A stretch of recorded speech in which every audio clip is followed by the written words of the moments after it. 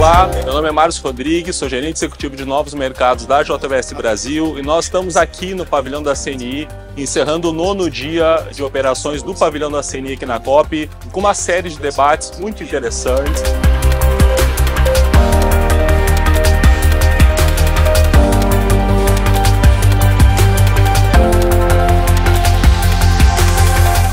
Debates aqui hoje sobre pastagens degradadas, sobre bioeconomia, sobre a importância então aí é, dos pequenos negócios nas mudanças climáticas e também um painel aqui realizado pela JBS Brasil, da qual nós discutimos os caminhos aí da sustentabilidade quando nós tratamos sistemas alimentares e podemos apresentar aqui junto com agentes do setor privado, agentes do governo e de entidades representativas então os compromissos da nossa empresa e na verdade como nós temos que trabalhar juntos então é, para atingirmos os objetivos globais que estão sendo discutidos aqui no âmbito da COP28. O pavilhão da CNI tem sido uma referência para a discussão do setor privado brasileiro, especialmente do industrial, para que possa também apresentar um pouco mais seus programas e também ouvir e aprender muito a respeito do que está ocorrendo na COP. E nós queríamos também convidar a todos para que acompanhem os debates que estão sendo realizados aqui no pavilhão da CNI, seja de forma presencial para aqueles que estão aqui no âmbito da COP, seja para aqueles que estão em casa no Brasil, qualquer lugar do mundo, possam então acompanhar os debates. Nós temos mais dois dias de debates importantíssimos aí para discutirmos o futuro do planeta e a CNI